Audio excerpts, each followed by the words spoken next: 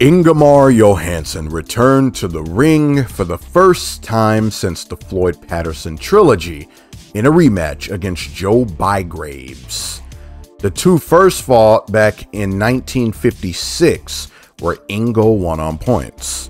This time around, Ingo TKO'd his man in seven rounds behind a second round knockdown. If Ingo could win back the European title, it was expected that he would gun for Sonny Liston. The road back to the title was off to a solid start for the former undisputed champion. For his first fight of the new year, 20 year old Cassius Clay faced Sonny Banks. Banks would surprise everyone by becoming the first man to drop Clay. Cassius rebounded and returned the favor by dropping Banks en route to overwhelming him and scoring the fourth round TKO. Good telling comeback win for young Clay. Interesting that he was dropped by someone by the name Sonny. Why do you ask?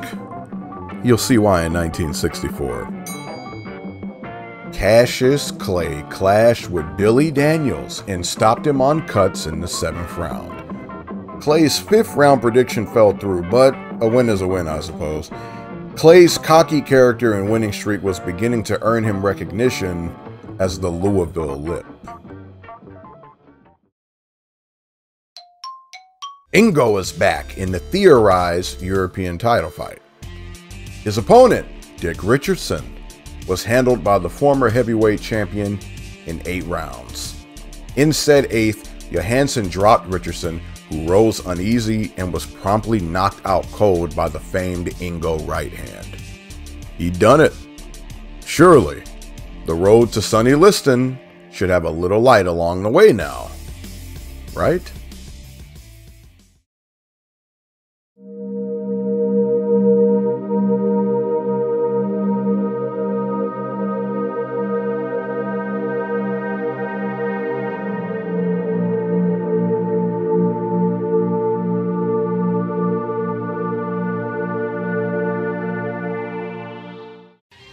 Sonny Liston had knocked out eight of the top 10 en route to this long overdue affair.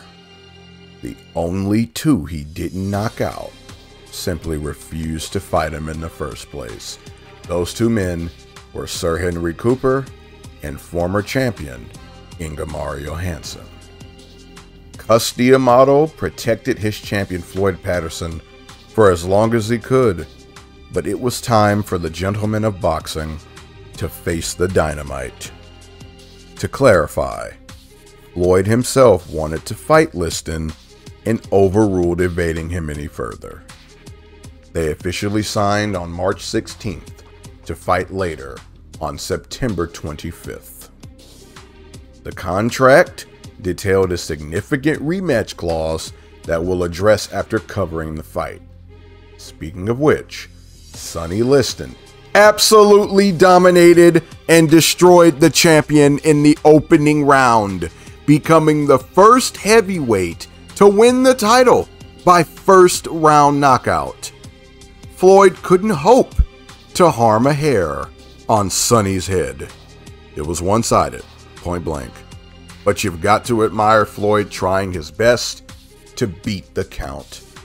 Some of the nastiest blows you'll see two minutes and six seconds of Charles Sonny Liston enforcing his will and exercising his frustration. He'd been ducked for so long, only to capture the crown so expediently. Maybe the 8 to 5 odds in Sonny's favor were too generous toward Floyd. Cus knew it, the boxing world knew it, Sonny definitely knew it, and maybe Floyd did too. Liston was destined to be heavyweight champion. The fear set in for the boxing world as Liston's ties to the mob left a heavyweight crown in the suspended unknown. By that I mean the mob now had an obvious control over the title, or, or allegedly. Gotta be careful here. Let's talk about that contract from earlier. Patterson was guaranteed a rematch within a year and retained the rights to dictate the terms. Liston had to agree to these terms, as it was the only way to secure the title bout. The WBA would take note. A cross-era battle between the Louisville Lip and the Old Mongoose, Archie Moore. Cassius Clay made easy work of Moore, stopping him in four rounds as predicted. The era difference can be summarized with this fact. Moore turned pro seven years before Clay was even born. It had to be bittersweet for Clay because he'd gotten Moore back for his time under him at his training camp.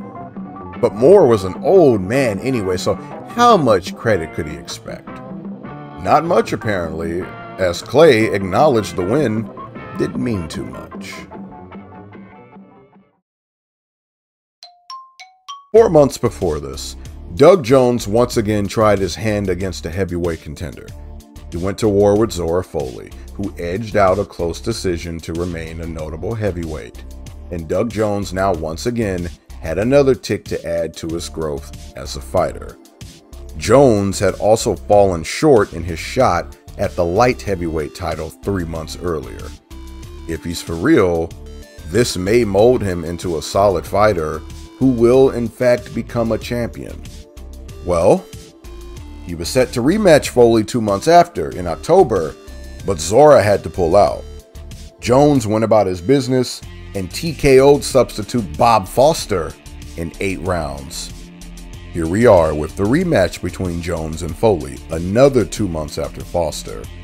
This time around, Jones climbed off the canvas to score a seventh round knockout. The upset cost Zora a chance at champion Sonny Liston and established Jones favorably in the boxing world. Zora Folley just can't catch a break. Since the Lavorante loss, he'd put together nine wins only to be derailed by a youngster he'd beaten already at the tail end of the year. Is he ever getting that title shot? What a turnaround, all in the span of one year for young Doug Jones. His manager announced that from here on, he would only be fighting at heavyweight, as he'd proved himself. His next opponent had better watch out, because it surely won't be a walk in the park.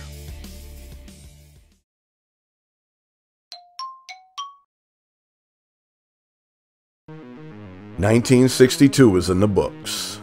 Here are the Ring's top 10 heavyweights of the year. Unbelievable! The heavyweight title is finally out of the vice. Sonny Liston, in historic fashion, has become the new heavyweight champion. Crazy thing is, he already cleaned out the division on his way to the top. So what more can we expect from the new champion? Boxingpedia's upset of the year goes to the Folley Jones rematch.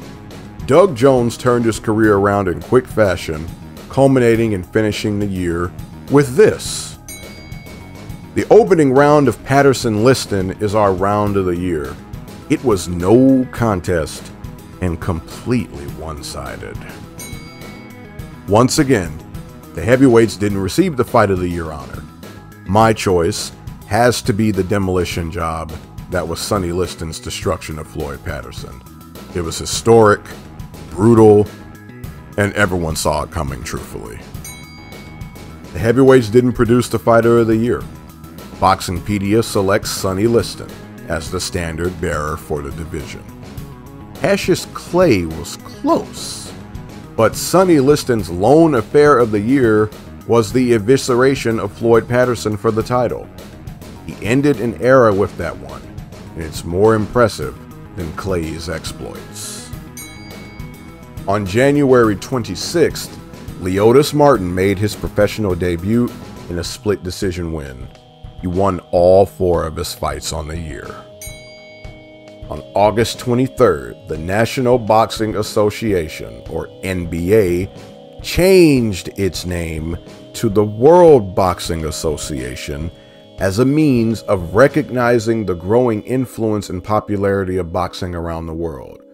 The WBA had originally come about to counterbalance the influence of the New York State Athletic Commission, or NYSAC. Ironic how much this would go on to detriment the sport.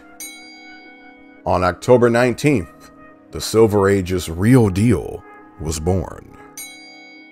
Ernie Terrell, outside of a loss to Cleveland Williams, won all of his fights on the year. We'll touch more on the Cleveland Williams affair in the new year. Thad Spencer had a flawless year, going 5 0 and continuing his rise. 1962 may have been untelevised for the big cat Cleveland Williams, but trust and believe he won three of his four fights. The other was a draw against Eddie Machen. One of those wins was against previously mentioned Ernie Terrell, who was young and on the rise. Again, we'll detail it next year. Speaking of Eddie Machen, he had a flawless 1962 outside of the draw to Cleveland Williams. I hear you met Don Juan today. How was he? Yeah. He wasn't too friendly. What do you have to say? He didn't even shake my hand. What are you going to do about that? Now you must fall. and I just annihilated George Logan in four rounds. I'm gunning for Floyd Patterson and Sonny Liston. And if they get in my way, I will annihilate them also. And most people think because uh, I can predict a fight like this and make it come true, they think that I am becoming overconfident. You see, I've earned a reputation as the Louisville Lip. Cassius Clay won all six of his fights and moved closer toward the title picture. 1963 will show if his boast to be world champion before turning 21 has any meaning. The division looks to be wide open. Sonny Liston fears no man. Floyd Patterson is guaranteed a rematch in the coming 1963. The contenders in line should see some movement soon. It's an exciting time for the heavyweight division, outside of the fact that the new champion has mob ties. Oh, and how about that Olympian Cassius Clay? He's looking good, even in the face of some adversity. Like I said, Exciting times to be a fan. Off to 1963 we go. It should be a good one.